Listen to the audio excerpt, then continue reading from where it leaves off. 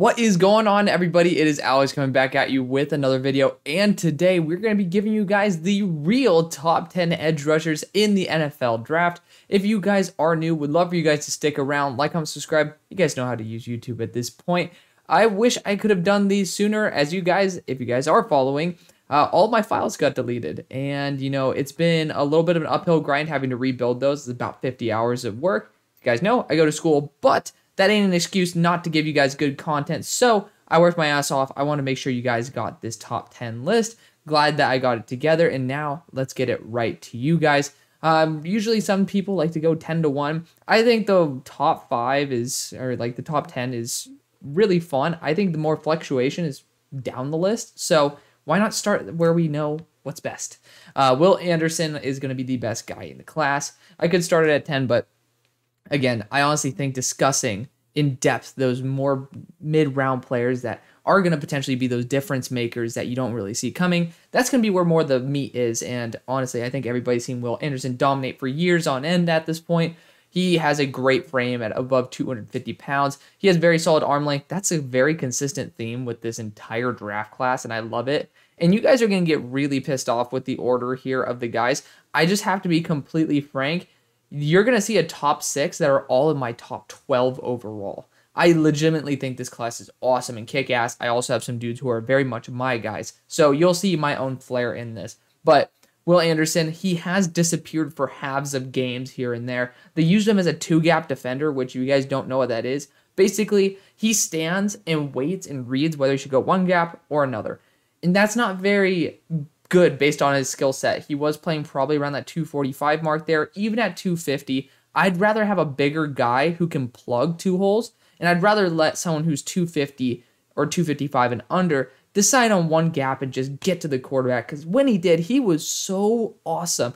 Unbelievable bend, unbelievable twitchiness, great use of his hands. He's a super polished prospect. I think he'll be better in the NFL than he was in college, and that's why he's my number one player in the draft. So obviously I give a comp to Khalil Mack. These grades are not fully up to date, but I these rankings are. So remember, look at those grades, have a little pinch of salt, or like take a little pinch of salt. Uh, but the dream fits, they don't necessarily line up exactly with where the draft is, but I wanted to blend it where, of course, I mean, like, sure, if he ends up on a team like the Bills, it's going to kick ass. But I want to make sure it's relatively close enough to where it's within the range of feasibility and it's a really good fit. Uh, Lions are going to be one of those teams I would love for him to go to. Him and Aidan Hutchinson, kind of the uh, Lightning and the Thunder there. The Eagles, I mean, they brought back essentially everybody except the one guy they probably should have tried to prioritize.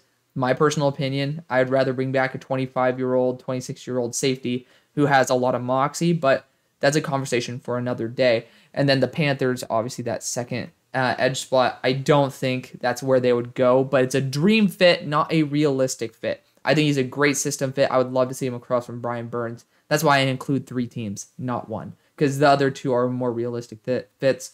Obviously, Seattle in there as well. Uh, number two is still going to be Myles Murphy. I had him 1A and 1B, and you guys can still see the grade for Myles Murphy is higher. But again, that's not adjusted yet. We haven't seen the numbers, and you know, based off his play this year, he definitely is going to take a drop. There's a big difference between Khalil Mack and Robert Quinn, and uh, to be fair, they used to play on the same team, if I'm not mistaken, on the Bears. But, I mean, Myles Murphy, you look at any tape but this year. Like, you look at Boston College 2021, just watch that game. He takes it over. Unbelievable power, sitting tackles on their ass. And he doesn't do it just in that game, he did it across 2021. And he does have some stints of doing that last year, but he totally fell off. That scares me. But I do think that we can get that old self out. And I'm willing to take a shot on that. He has an amazing frame, 258 pounds at six foot five. You know, that's a very solid build. He has great IQ. He's very good against the run. He's the perfect two gap defender that I was talking about. Like, if he worked at Alabama, I think that his two gap usage, I think if he kind of switched actually uh, roles with uh, Will Anderson, he could have had a better career there at Alabama just because I do think he had that IQ and run stuffing ability and that size to be able to handle it a little bit better than Will. But I still think Will will be the better player. Um, I wanted to toss in a couple new teams here. Obviously, I'm looking at the Kansas City Chiefs. If they want to be ballsy and move up, I don't think they will. Uh, that's going to be like one of my crazy fits, similar to how I chose the Panthers. You know, they're looking for, I mean, Spag obviously is looking for guys of this size and caliber, but two of the realistic ones, you can, well, I mean, it's not out of the question that he falls out of the top 20, but I do think he goes there. Uh, the Packers would be a great option for him to go to. The Texans, I'd love to see DeMeco Ryan maximize his potential, but uh, Robert Quinn feels like the right type of move. Robert Quinn was 265 and about 260 pounds. He was listed at 275, so his playing weight probably close to that 265 mark. Another team, the Eagles, would be pretty damn awesome. There's a lot of good teams where he can go to, and I really just hope he gets back to what he could be because this guy could be the best edge rusher in the class, and he could have that Aidan Hutchinson level dominance because at the start of the year, it was okay. We got Will Anderson and Myles They're pretty much the better version of Aidan Hutchinson as well as Kayvon Thibodeaux. I'm hoping they can find a, uh, a way to make that happen, but I'm not going to bet on that unless they go to the right situation. So uh, that's why I like to put some dream fits there. Now, this is a huge shocker. I'm a big BJ Ojulari fan. Like, I am a monstrous fan. Now, can this change? Absolutely. And of course, the more tape is watched, the more things can change. But I do think this is based on 2022 tape. This is not old. This is not something from the past. Like he went from a 70 to up to a 79. Like he did improve his game. And you guys know me. If I see a player who's improving his game, I'm going to give him credit. And you're going to see that's a common theme on a lot of players on this list. So I love BJ Ojulari. Again, that 250 pound frame. He's big enough. He can play around. And I do like that a lot. He's somebody where maybe his run defense doesn't match what you're looking for, and he does get lost from time to time. But you do see that pass rushing proficiency. He has great size. He has great athleticism, and you know the technique is something that not enough people talk about. But he will probably not make it into that first round. I would love to see him at that Eagles pick at 30, but with the, how many dudes are being brought back, I don't know if that's going to be their primary target. And that is a little bit confusing. But Howie usually likes to go BPA, and if bringing free agents in is the way to do it, this might be a great way to get a best player available at that spot. Another team, obviously the Panthers, that second round pick, you still are looking for that second edge rusher. And then obviously the Titans, you ended up probably, I think you lost Harold Landry, but you definitely lost Bud Dupree, and I think that would be um, a top notch option. I'm, I'm tripping. I don't believe Harold Landry is gone, but Bud Dupree is, and I think he would be an amazing compliment there. Uh, just a really solid player overall, and somebody that I'm glad to know that there's guys like Marcus Whitman, that franchise guy, who love him. And I know I'm on the extreme. He's my number six player in the draft right now, thanks to one particular one being a complete uh, big red flag. But that's another topic for another day. Uh, next is going to be Felix on you, Anudike Uzomah. Yes, I know I am an extremely high, huge fan of this, but the next three are in order and they are switch switchable. If you want to have one of these guys up at one spot versus the other, you guys can do it. But this is how they are on my board. I'm dis- displaying them this way. Felix has been great. He has been in the top 10 since the start of the year, but he improved his game. I love seeing a player who works on their craft. I just brought it up with BJ Ojulari as well. He's somebody who has great size, 255. You know, I, there's a lot of these guys who are not super undersized. And he does bring good polish to the game. He has 33 and a half inch arms. Like, I'm not worried. All these guys, I can say arm length is a plus. They are not a negative, maybe except Nolan Smith, but we'll talk about him in just a second. But yeah, just super consistent. I would say maybe his only issue is he shows up versus the good tackles, which is really weird. Like Anton Harrison, they went at each other. That's a fun game to watch because I think they both won in their own out in their own rights. Like I think both of them had a really good game against each other. But these games versus lower level tackles, sometimes he disappears. And I don't know if maybe in his head he doesn't turn it up to 100 when he knows the player across from him is not that good. But I know for a fact that this guy can just kick ass versus good players to me, that's what matters because you're going to be playing against really good players in the NFL. Uh, some fans of teams might disagree about how good their tackles are, but I digress. I do think that a lot of these edge defenders, run defense is not really their forte, but still better than it was at the start of the year. And, you know, we're not talking about Nolan Smith level athleticism here. uh, there's not really much that I think is that bad with Felix. Obviously, you guys know I'm a pain in the ass when it comes to grading. For so a 79 grade is incredible. I'm only going to give you guys comparisons when it is, you know, pretty solid comparison. I do look at other people's comparisons to see maybe I like that, maybe I don't. And um, if I want to parrot it, I'll give them credit for it. But I just didn't really find that. And I can see teams like the Dolphins, the Falcons, the Rams in the second round finding an edge rusher right there. Good value. And I just know that for a fact he's not going to be looked at as highly as the way I look at him. But he's a very good player, and I hope that he does get a little bit more of that love that he deserves. Next, we got Tyree Wilson again. So number 10 on my board, now number 11, and the next guy's number 12. Put him in any order you want. I know a lot of people love Tyree Wilson. He could definitely be my number two edge rusher it really is totally up in the air. These guys are all top 12 on my big board. They're all phenomenal. Don't look at the rankings too harshly, okay? Like these guys are phenomenal. I believe he has 35 and a half inch arms at 6 foot 6, 271. Incredible. And he had great production as a pass rusher. Here's the thing. He had great production as a pass rusher, when he still needs to work on his pass rush mechanics. He still is raw in that aspect. He's not very polished. That's incredible. I got to give him credit where credit is due. I think he has the highest ceiling out of the bigger edge rushers in the class.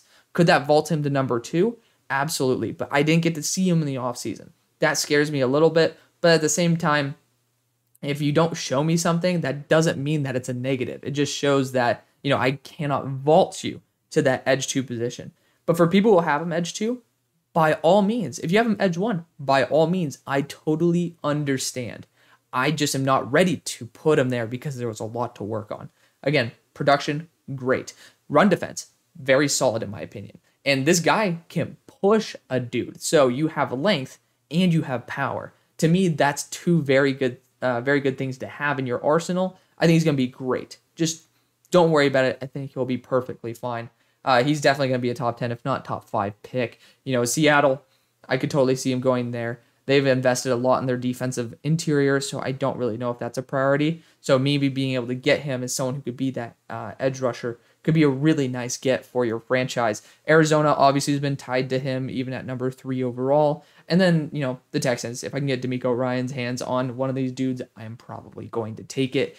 But yeah, no, super freaky. I've seen some comparisons for him, and you know, I I really feel like he he needs to stand on his own, and I want to let him stand on his own. I think he's a singular prospect that can uh, represent himself. So you know, really like tip my cap to him. He can't really bend for shit, but he's a 6'6", 271 guy with 36 inch arms down here. So I'll give him a pass on that. So next is going to be Nolan Smith. Yes, he is somehow edge six at number 12 on my big board. Uh, no, I'm a huge fan of Nolan Smith. Obviously, I don't need to bring up how he tests athletically. He's awesome. But here's the thing he is also extremely strong. I'm sure if he put up a bench press before his uh, pectoral tear, he probably could have put up 20 to 30 reps. He really is super strong. Here's the issue he uses his pectoral a lot when he does play the game. He got a lot better in his run defense. Got to give him credit for that. He worked on himself over the offseason from someone who I had zero faith in in terms of run defender. Look at his weight. He's 238 and he was probably going to be 230. So tip, uh, like tip my cap to him for being able to get up that weight and still be able to test the weight he did. But when you watch him play, a lot of it is him throwing players off. That requires a lot of chest activation. It makes sense why he got a pectoral tear. Like you do recruit that unit a lot. I think that he'll be perfectly fine. But it is something to note. And then obviously the size, even though he is 240 pounds, he is 240 pounds. So it's a good thing, but so I guess it's more of a mitigation of a bad thing. Haason Reddick is just the easy comp. He tested out very similarly, um, just better, but size, speed, really good technique, strength. I love it. So yeah, good for him right there. Uh, there's some common culprits up in here you know, apparently if Jalen Carter is going to be a selection there for Seattle, which he was probably before today, uh, then he would have been a really cool guy to pair up. But that any team with the Georgia defenders is probably going to be pretty high on my list. So uh, next we got Will McDonald. So somebody who was my edge four starting out the year, he's had a phenomenal, phenomenal, phenomenal offseason. And the thing is, he had a really bad regular season. His DC had no idea how the hell to use any of his players, which is why I'm higher on MJ Anderson than a lot of people. I think that his DC showed the like pretty much nothing about what they're capable of doing. That showed in Mobile when uh, Will Anderson was able to kick ass. You know, it was awesome to see that. He is still super thin, 239. Like, yeah, we talked about Nolan Smith um, at 238. And is that big difference? Obviously not. Nolan Smith looks really thin too. But Nolan Smith plays with a lot more strength than Will McDonald does. I think that's a big issue for me. He really does lack that power with his speed, but he does have crazy length of arms. I think it's 35 inches, and that is great for being able to you start setting the negotiation, so to speak, to set the engagement with that tackle. That's going to be key for being able to win at that size. So he has that. That is great. He has a great arm length to be able to deal with those tackles because again, they get your hands on you, they can overpower you. So again, being able to keep them at distance is super key for success, especially of a player that size. That is awesome, and it made me so happy to see that. Obviously, you look at his arm like he looks like he has Kevin Durant arms. That's going to be what I say. Uh, but at the start of the year, I said he's 90% of Kayvon Thibodeaux. Now I think he's maybe 85% of Kayvon Thibodeaux. Still totally worth a second round pick, and I love it again, teams that are culprits or teams that are used to looking at lighter edge rushers. Teams, obviously, who have had Haason Reddick would be a pretty good start, as well as Harold Landry. So uh, that's the common culprits right there. Obviously, I do think he deserves a grade bump because that grade bump is based on 2022 tape. But yeah, he just didn't really do very much this past year. It's not really his fault, and he showed that. So that's great for Will and uh, Will McDonald. So going on to number eight is Keion White. There's a particular player I already know you guys are going to get pissed off about. We'll talk about him next. And um, there's something that I think everybody agrees on, and I'm a little bit more on the uh, safe side than the total belief side. So we'll get about that in just one moment. But Keion White at 285, can you call him an edge rusher? Uh, he played edge rusher. You know, he is potentially going to be a pure edge. I would hope that maybe he's slender down to 275 and you know be even more athletic. But for a 285 pound man, this dude moves. He moves, and uh, you know that's very that's not like you can't teach that. For a guy that size to be able to move like that as a pure edge rusher, he does have the athleticism necessary. I just didn't really think he won very much in terms of his reps. That's my only issue is that the actual play was not nearly as good as what it should have been. I don't know if I can credit that to Georgia Tech or if I can credit that to him. If it's his issue, then I think this will fall significantly further. And I don't think he would make my top 10. But if it is due to Georgia Tech, this is going to be a great opportunity for him to take a step up. And um, I honestly think that he had he popped off at the Senior Bowl in terms of his mobility. He's chasing down quarterbacks that are extremely athletic. So, uh, yeah, no, very good for uh, Keion White right there. Again, just kind of underwhelming in terms of his overall play. And that's just something that I took away. Obviously, at 285, he's going to be able to put a little bit more juice into those tackles. Uh, you know, teams that are looking for bigger, more mobile, um, and higher power edge rushers are probably going to be very intrigued with that. Teams that have had Bradley Chubb or Spag or else teams that, you know, similar to Marcus Davenport, like that bigger, freakier edge. So next we got Lucas Van Ness. This is the guy where everybody's like, whoa, he's not in your top five. Uh, this is being very, very, very nice to him. I did not plan on having him in my top 10. And I put him here because I do kind of want to give him credit where credit is due. I already knew he was a really good athlete. The thing is, he is so unpolished. He is super raw. I don't understand why people aren't bringing that up enough. It's very intriguing to me. You know, he's a one trick pony. You watch all the highlights, is this dude blowing over a tackle? And that tackle is probably going to be someone who has anchor concerns. Paris Johnson is the culprit. I purposely watch games where players who I don't really fully believe in are at their best. I didn't necessarily see what I wanted to see from Lucas Van Ness. And again, he does lack that polish. Can you gain that in the NFL? 100%. And I think his ceiling, in terms of, or the range in terms of his floor to ceiling, might be the highest in the class. He tested out phenomenally. Great athlete, but we already knew that. I was surprised by him not getting up to 20 bench press reps. He, I think, got 17, which is one of the lowest from that day. which is a bit of a concern. But you know, it is what it is. You can't have literally everything. Otherwise, this guy would be going number one overall, like Travon Walker did. But I don't think this is a Travon Walker situation. Great frame, again, 272. But you are dealing with somebody who needs a lot more time, but he's very young, and a lot of people believe in him. I think if he goes to a place with someone who's a little bit more technically polished, you could see like Aidan Hutchinson being a great comparison, like a great partner to put him up with. Uh, that would be awesome. Pair him up with Bill Belichick, that'd be great. Obviously, Green Bay likes their fast, big edge rushers. So there are certainly some spots where he could shine. That's why I put him at nine instead of leaving him out of this. But his pure game tape, I'm sorry. I don't want one dude who can just bowl over a tackle because I can guarantee you, you look Trent Williams right in his eyes, you're getting planted on your ass. I do not care who you are. To be fair, every edge rusher does. But you look at a at a tackle that can handle power, you are absolutely useless. And I am scared shitless of what happens when you take away that one move. I don't really see many other moves in his arsenal. It does scare the living hell out of me. But again, if he learns, and if he's in the right situation, he could be a superstar. I think the chances are lower than a lot of people say. And that's why he's here at number nine. Uh, I had to go into that one because a lot of people are going to be getting butthurt about that. And, you know, understandably so. I'm you don't watch the tape like all of us do, and the people who you probably trust are saying things that are different than what I'm saying. So uh, you know, it is what it is. That's why I try to watch tape with you guys when I do find that time. But last but not least, this is my heartbreak. Um, I actually artificially put Isaiah McGuire in here as well.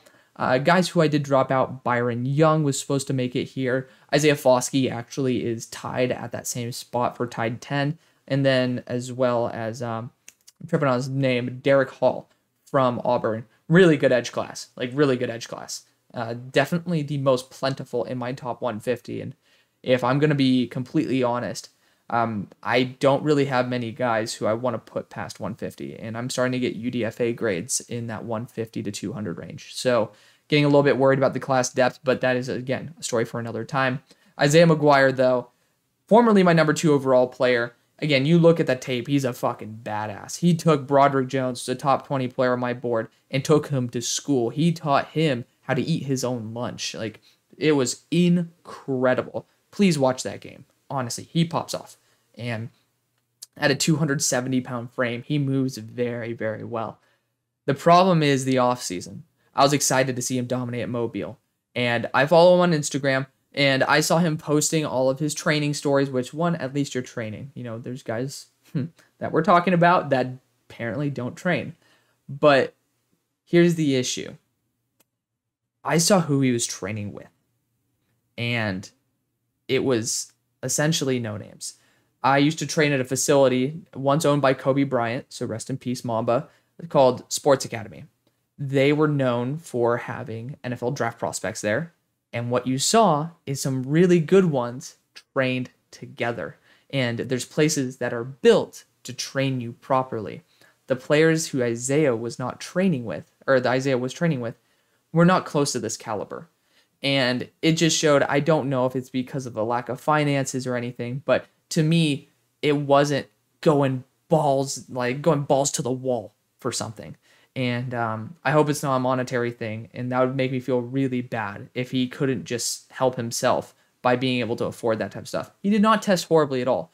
But when it comes to the Senior Bowl, he obviously didn't stand out remotely. At the uh, combine, did not really stand out at all. And ultimately, you have to be able to stand up against good competition. And for me, the tape still matters. That's why he is here. He is still a top 80 prospect for me, and a lot of people have him a lot lower than that. But I do think if he hits his stride, he could be of that George Karlaftis type. Has some great explosiveness, some good hand technique, and um, you know maybe not the most finesse type of guy. But um, yeah, definitely do love what I can get from him. Uh, the Bears, Packers. I mean, I already talked about the Packers and Saints looking for those bigger athletic edge rushers. I think the Bears would be a really cool spot to be able to snag him with one of those mid round picks. Unfortunately, I do think he goes to day three. Just nothing spectacular on paper. Uh, at least he had good production. So I'm hoping, I'm hoping that we find that guy who was number two on my board again. But I am starting to think that the chances are starting to get a little bit slimmer. But the tape matters the most. So maybe when all is said and done, he's going to end up kicking ass the way he did on tape. And I hope to God he does. So that's going to be the video, guys. Thank you guys so much for watching. See you on the far side. Peace.